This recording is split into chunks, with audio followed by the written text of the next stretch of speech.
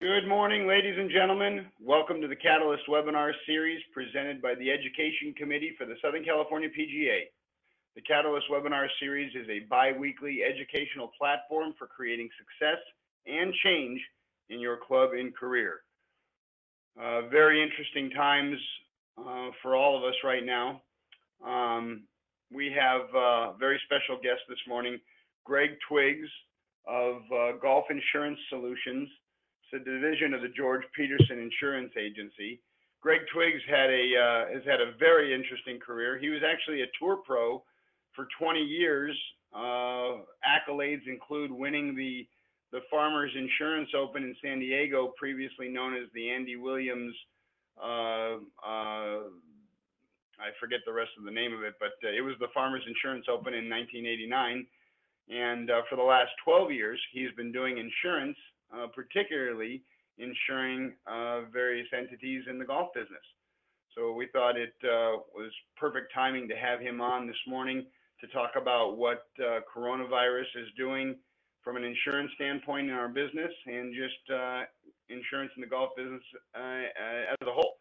Mr. Twiggs, thank you very much for being with us this morning. Welcome to the Catalyst webinar series. Thanks, John. Hope everybody's healthy and well and not, uh, you know, getting frustrated enough to uh, harm themselves or others yet, like I am. But uh, I'm glad to be a part of the PGA section here in Southern California and uh, with you guys today. So uh, feel free to send any questions over while we're going through this, it's pretty general and broad, but I think it'll be informative to everybody. Uh, so, to get you started, I won't want to take up too much of your time today. Um, I'm the owner, partner, principal of Golf Insurance Services, and we insure over 125 golf properties. Uh, we do it a little different because I come at it from a, a person that loves the game.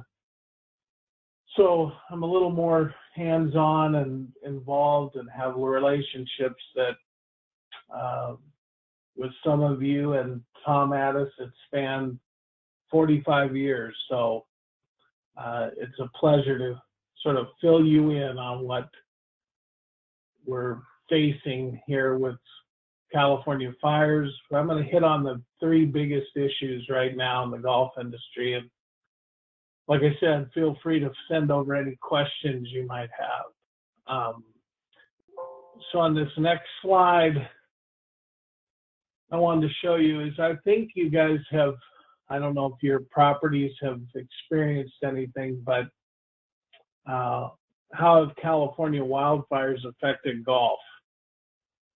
Um, you know, we we have a lot of courses that you wouldn't expect 10 years ago that now have become very high risk in the insurance world.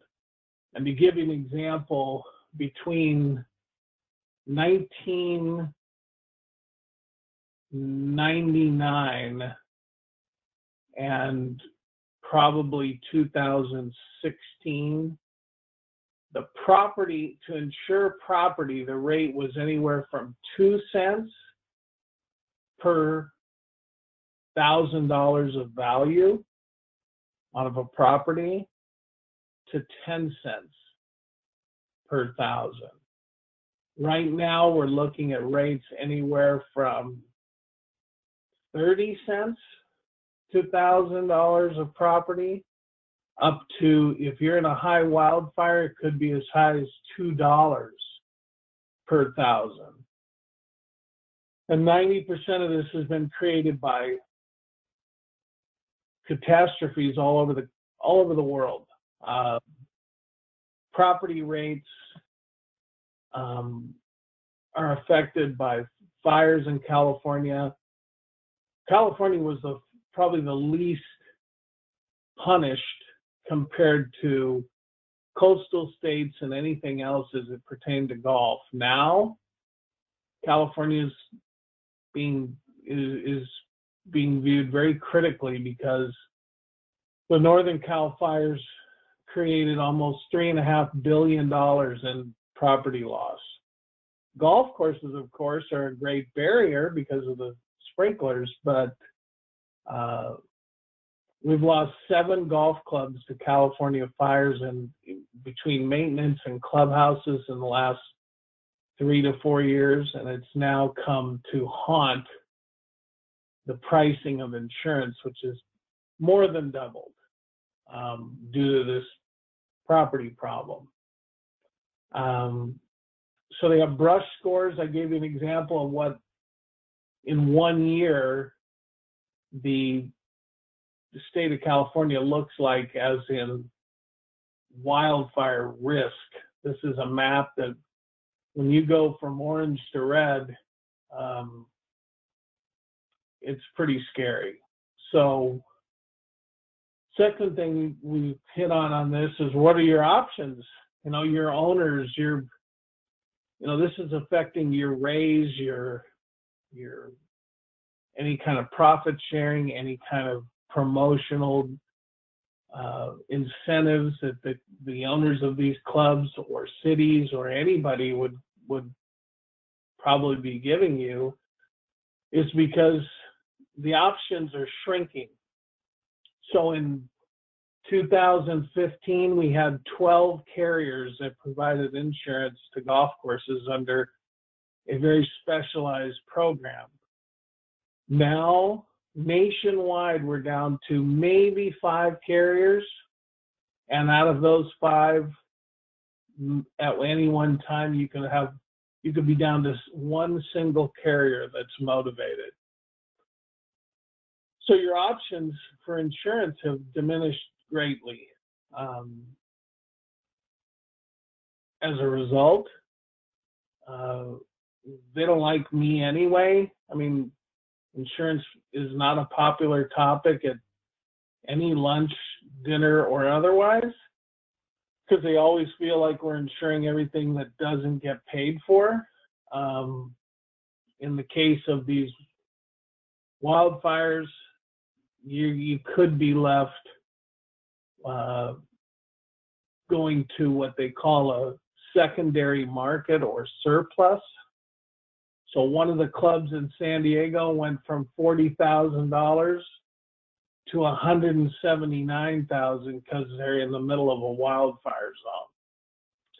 So options have decreased dramatically, and that all the operators, all the people you work for are facing those big changes. Um, will we see premiums return?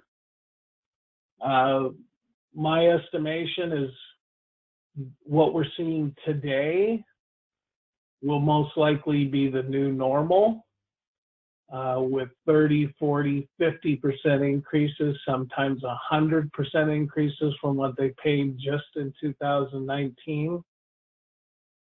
Because the insurance world has been waiting from that eight cent rate for years for property rates to match what the value we're insuring.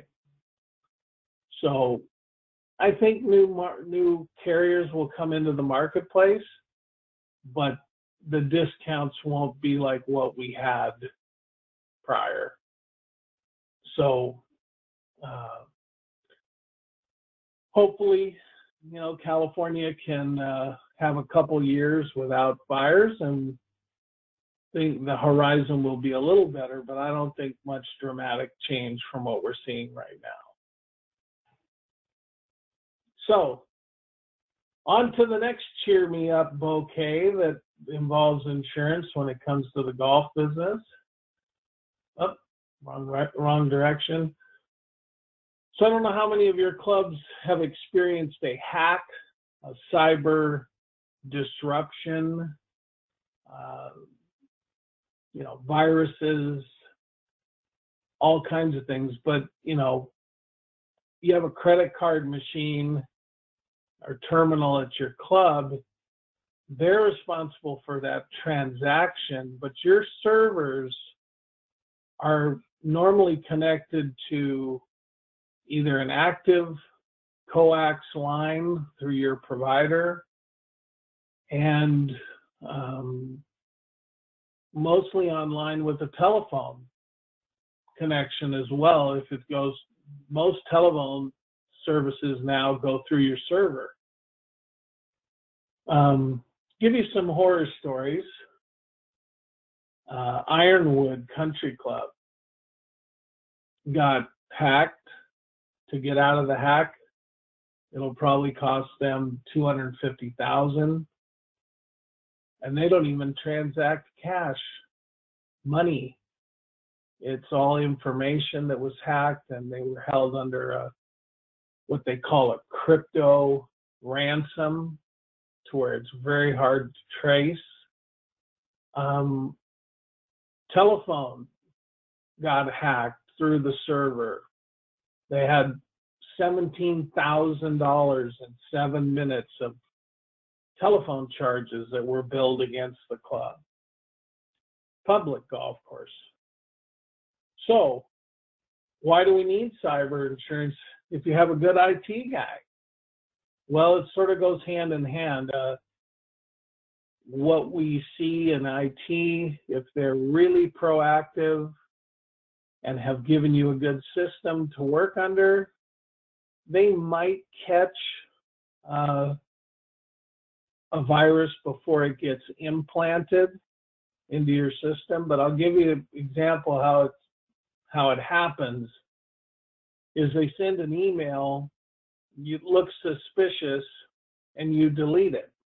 You've done everything right. But the problem is that email has a tracer in it. So when they send the email the next time, and they'll bombard you with with different kinds of scenarios, even familiar web recognizable web search that you did recently that you're waiting on a reply. I mean, they're in your computer anyway.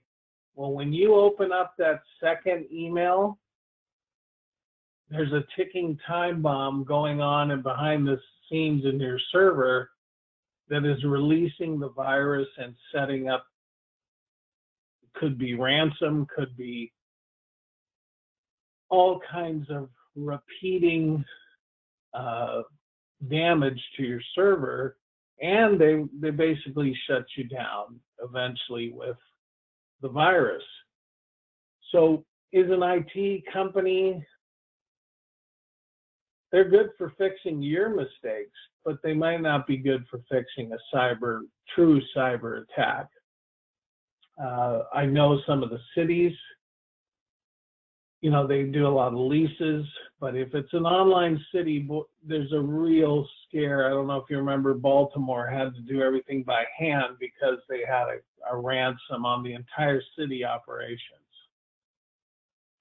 So, what does cyber cover? Uh, cyber covers your cost of eradicating the hack, It'll cover your legal costs of sending out letters to people that might have been hacked or credit card numbers that could have been hacked. If if they get past, you know, you with a terminal, you have a service provider, they have insurance and they have ways to protect you.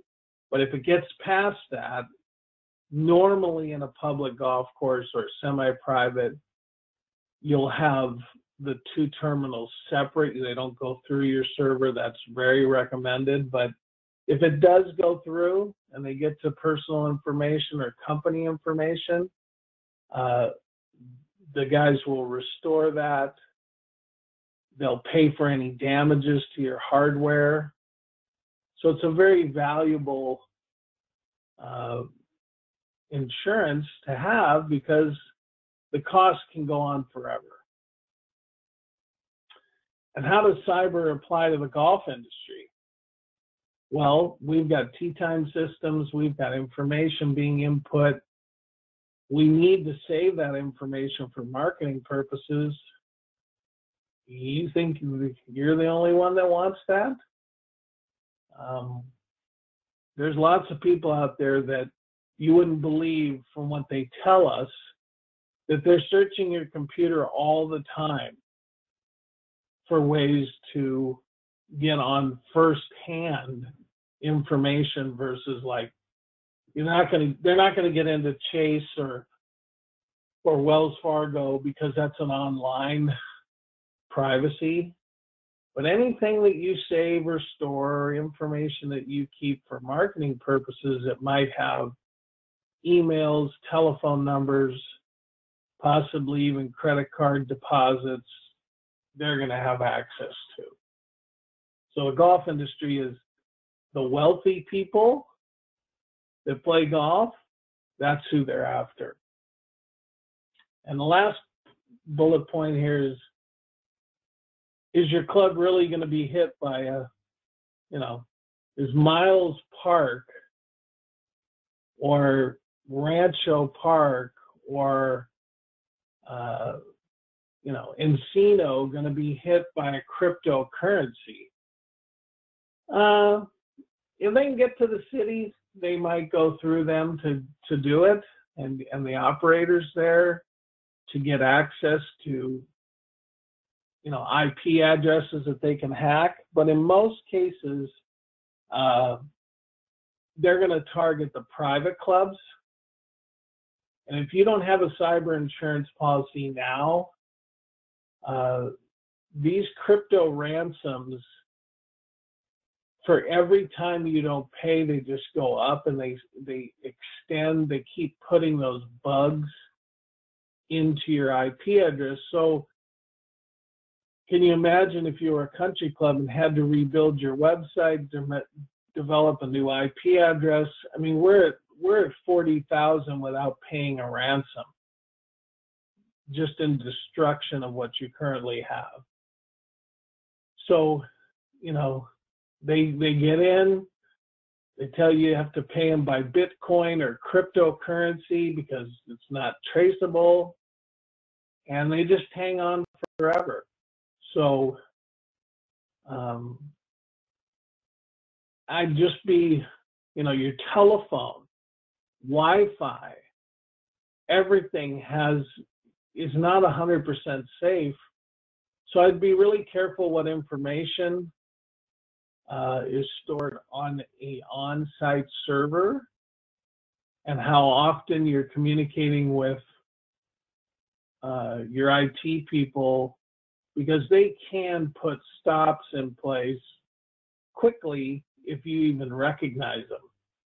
So it's an education that uh, is the insurance world provides the relief, but the IT world is constantly, I mean, you've probably heard the sales pitch, firewalls and different things that they want to change in your system and you say, well, you know, we really don't have the money for that. Well,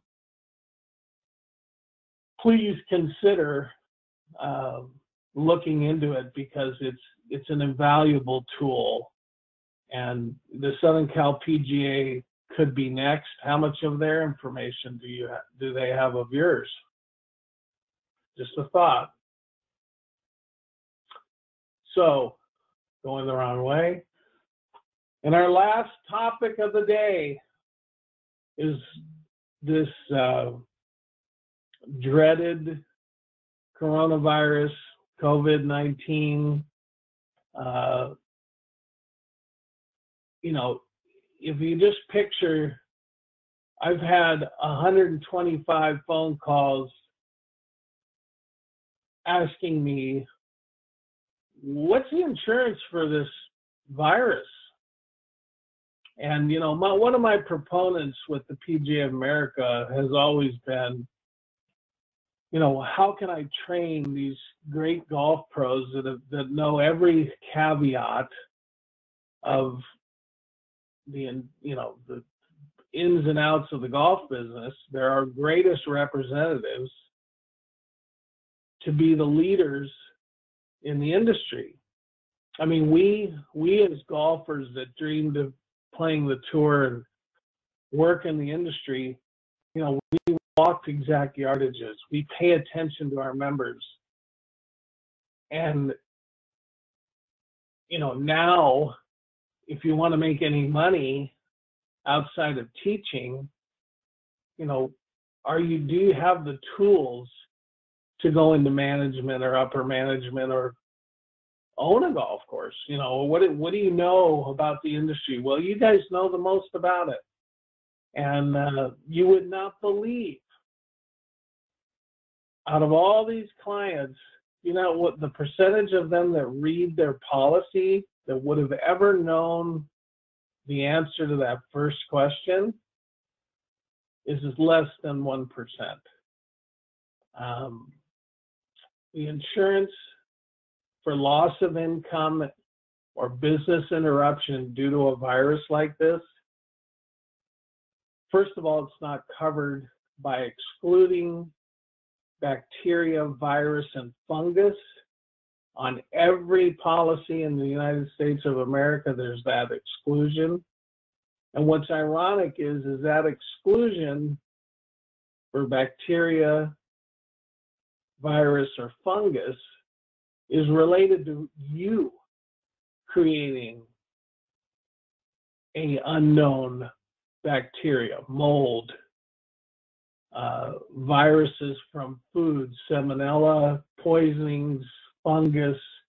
It was never intended to be a national crisis that would that exclusion would pertain to.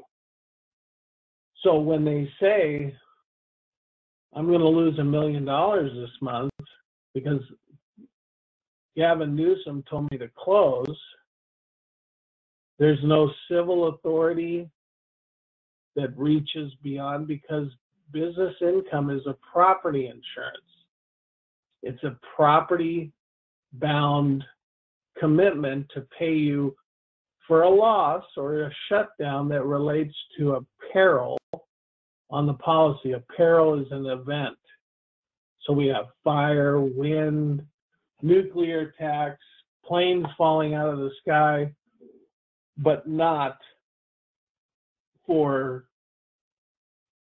viruses or you know some policies have terrorism. We could call this terrorism. The chinese terrorized us with this virus. Well now that exclusion on the policy eliminates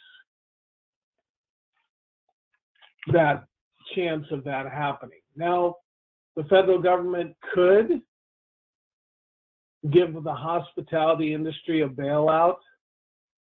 Um, but do you think they're really going to think about us people that are out playing golf in the sunshine first? Probably not. So, uh, when you think of this effect it's had on you, workers' comp, somebody comes to you and says, I feel sick. The workers' comp is going to have a hard time. They've they've agreed to accept the claims, but under workers' comp, the only viral infection medical payment is maxed out at ten thousand dollars.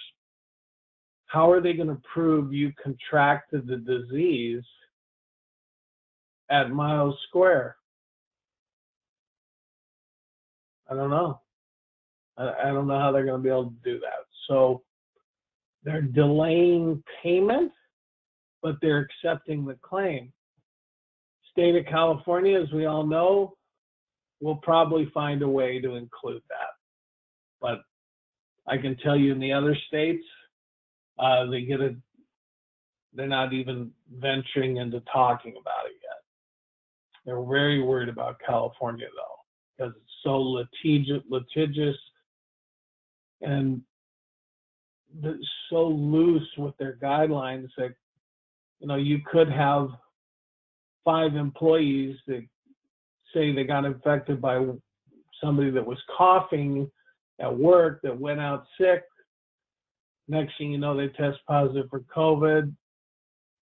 They're on claim for two weeks getting better. The only good part is we'll have to pay them but the good part is we want them to get better and come back to work. So, uh, what coverages are going to change? Um, the insurance world is not in a hurry to get into protecting pandemics.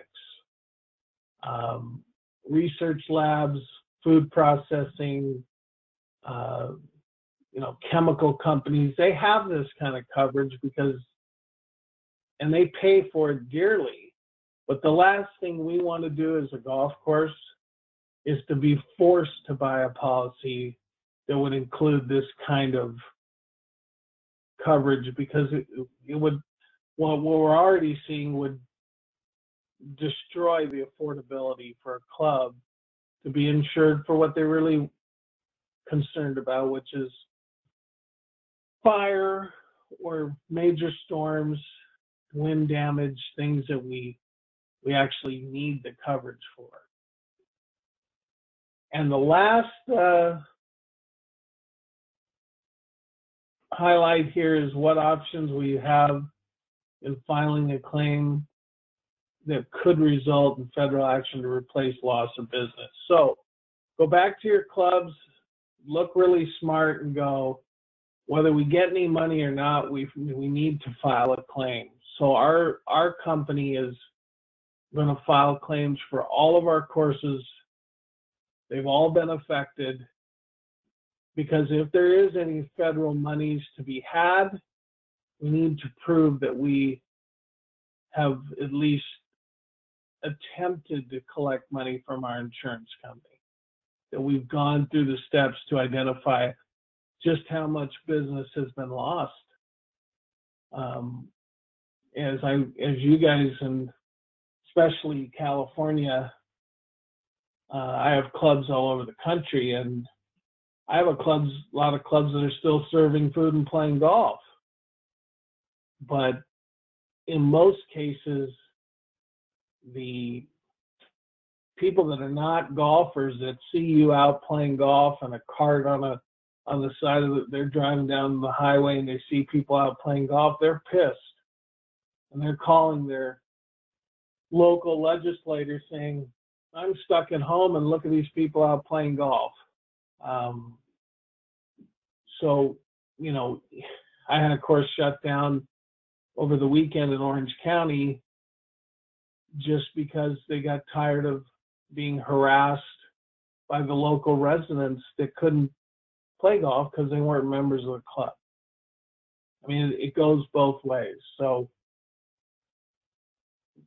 urge your clubs to, no matter what they think they've heard from the insurance people, um, the broker, what the club's plans are, make them aware that uh, they need to file a claim, whether it's paid or not. We've got it on record that we, we at least are trying to recoup the lost income.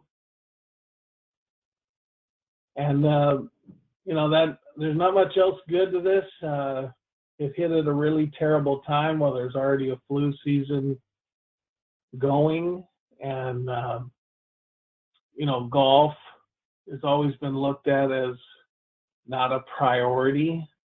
But let me tell you, if you're in a private club and the guy's writing a check every month and he can't use his club, um, we need to be optimistic that you know it's not going to last a long time and that we've we've given them all the information of what we plan to do what we're planning from keeping the club clean during the virus and what we plan to do when it's over.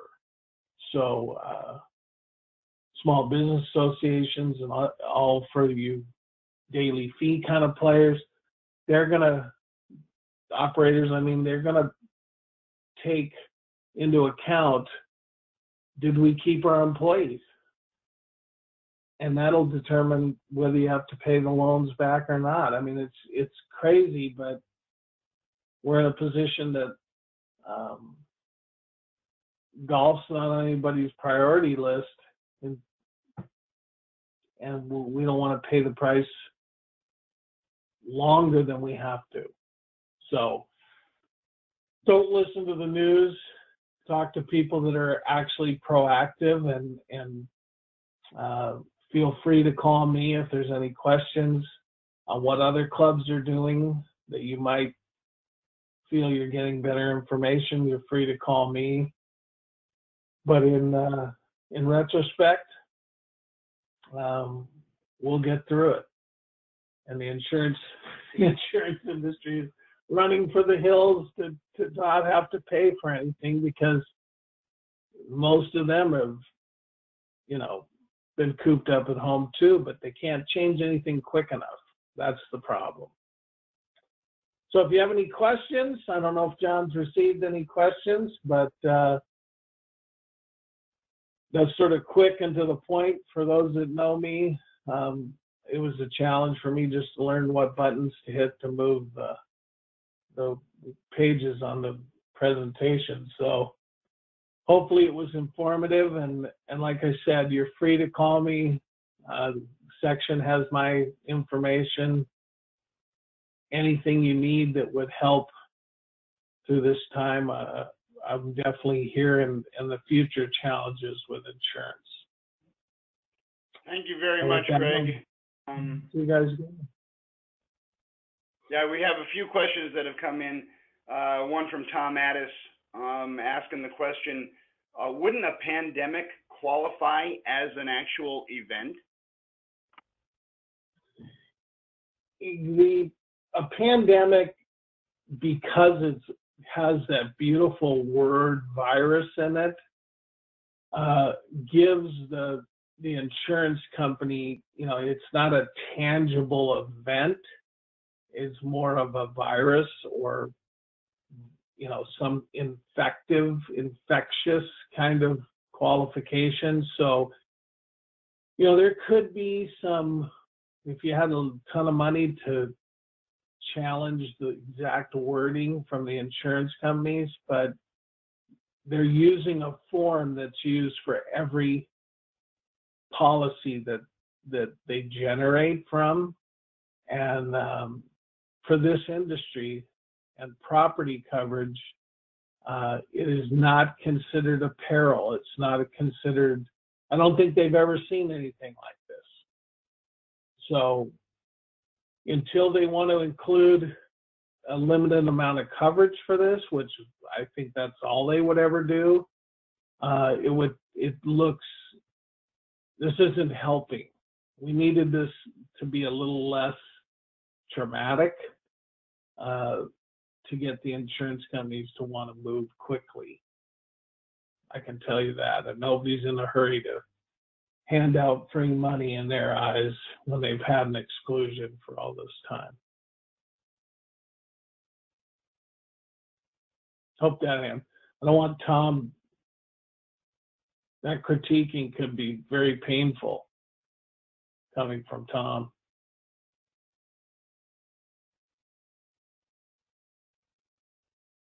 So I hope that answers that. In terms of uh, those of us that work for a large corporation, uh, what advice do you have for us uh, in terms of, um, you know, of us being uh, unemployed during this time? Well, I mean, on on the personal side, um, you know, what I've heard from other, you know, Troons and OB Sports and American Golf and Arnold Palmer is that, you know, this is a temporary situation. Um, I hate counting, thinking that we have to count on the government for anything but I don't think anybody was prepared. So what you can do versus, you know, obviously unemployment if you've been laid off, but I would, this is going to trigger how you've been treated through this time. So there's going to be a lot of really good employees that are going to leave their current employment because of how they've been treated. I mean, I, I hope we don't all overreact, but I would just review how they're handling it. And, you know, I wish there was some secondary way to make additional money or options to move, but I would look I would look for how this has been treated and, and what the management how they've handled the priorities when it comes to really good employees because this would be a time I wouldn't want to lose a key employee. And if I'm just doing mass layoffs, um, I'd be looking for a more stable company that could hand, you know, that moves through things like this with a little bit more care and keeping my best people on board.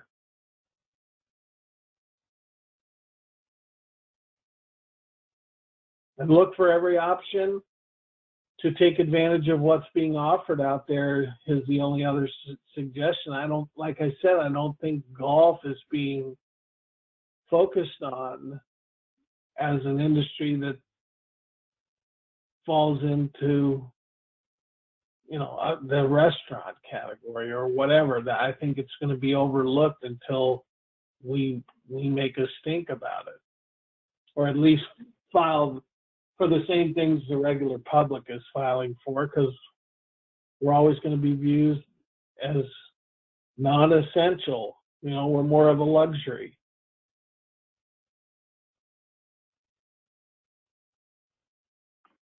I guess the, the curiosity is in why was there not more consideration uh, for the fact that, you know, rules can be customized to preserve social distancing um, and, you know, not touching the flag sticks, not touching the rakes and the bunkers, and, uh, you know, everyone keeping at least six feet away from each other.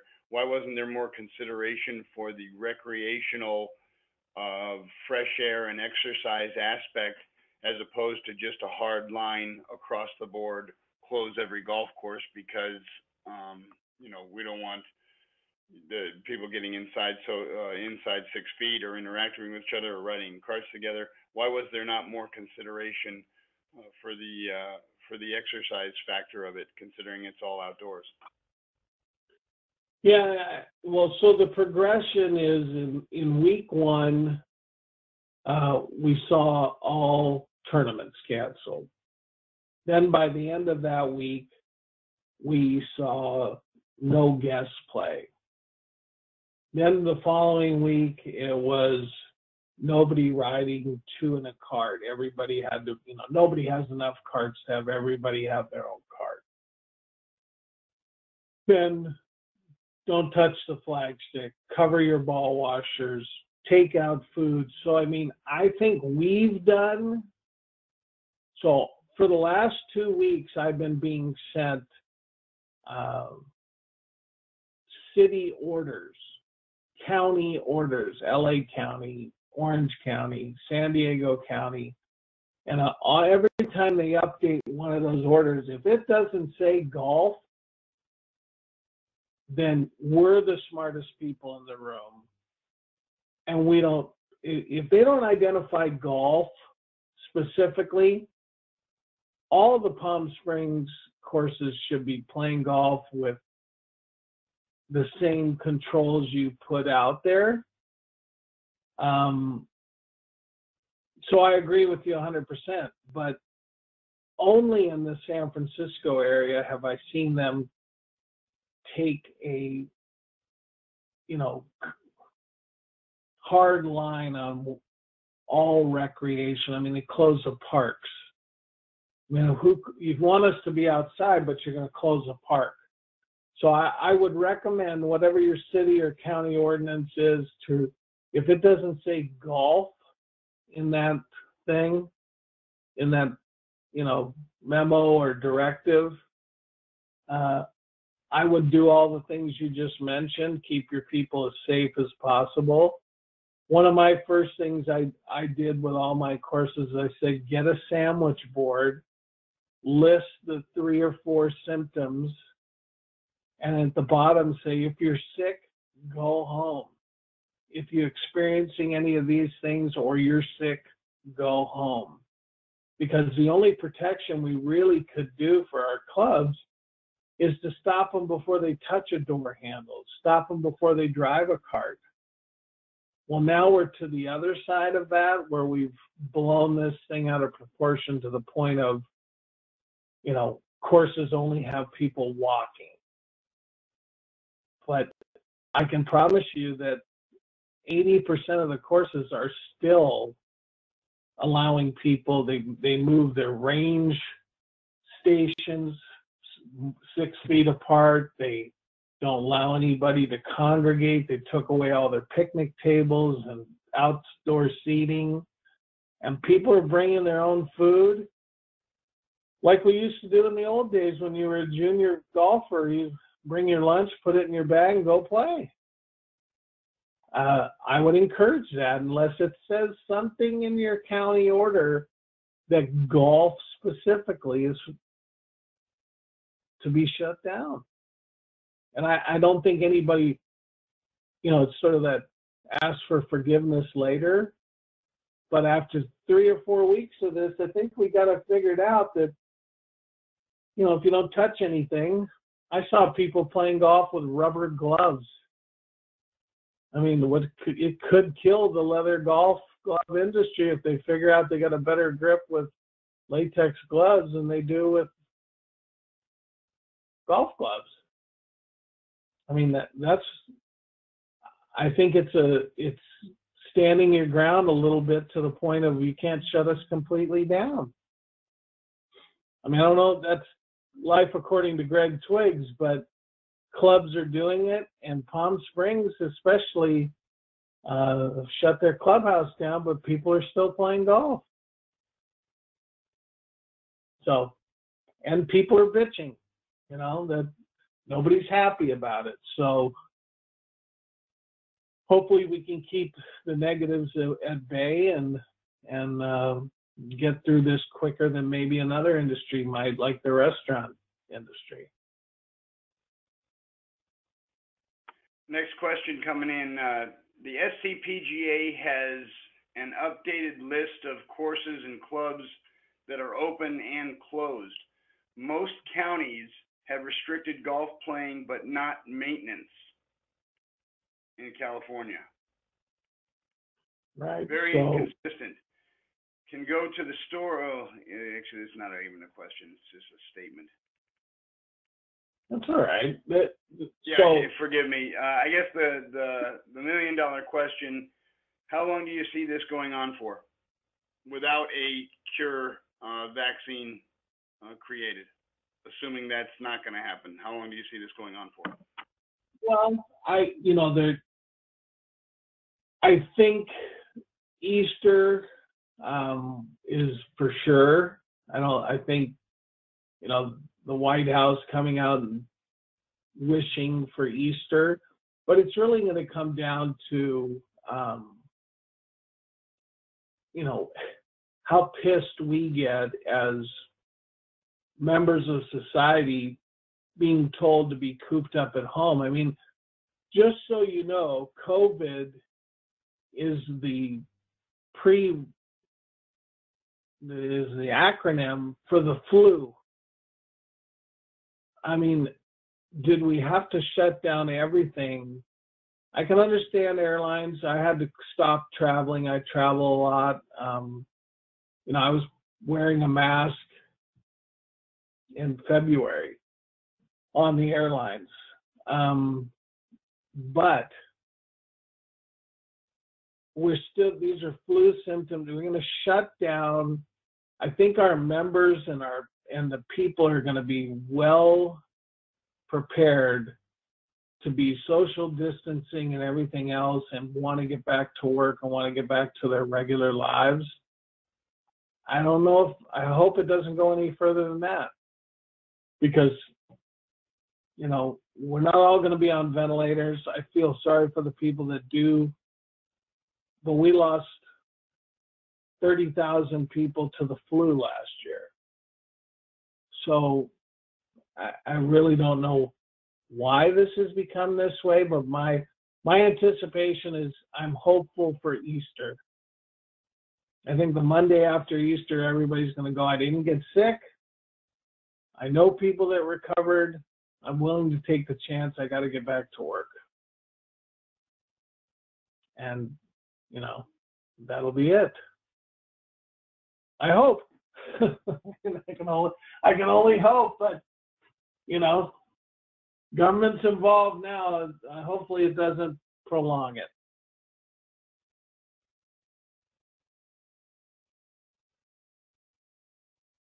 Okay, it looks like, uh, it looks like those are all the questions that we have, uh, for this morning. Uh, last call for questions. In the interim, I want to, uh, thank Greg for his time and expertise this morning. Um, by far, uh, probably the weirdest catalyst, uh, I've done in the last, uh, uh, three and a half, four years. Um, just our, our scenario out here at Monterey Country Club we are shut down completely. Every single employee, except for the superintendent, has been laid off. Um, however, I'm out here today to do the catalyst and to, to button some other things up, but uh, it's just kind of eerie to say the least. For those those of us that are on the call this morning, as usual, the catalyst quiz link will be going out shortly, along with the YouTube recording of Greg's presentation. Please feel free to review to the YouTube recording to complete the quiz. Once you've completed the quiz, go ahead and submit it for grading. If you get a 70% or higher on the quiz, you will earn one MSR credit for attending this morning's Catalyst. Stand by here. I want to announce uh, our next Catalyst is going to be on April 9th with uh, Craig Kessler Director of Governmental Affairs for the SCGA, and he will be talking about, uh, no doubt, the coronavirus and how it's affecting uh, legislature in California as it pertains to the golf industry. That will be a very good catalyst. Um, and Greg, thank you very much for your time and efforts today. We appreciate you being on the Catalyst. Thank you very much. Have a great day, everybody. Be safe, and uh, we'll talk to you on April 9th. Have a great day. Bye-bye.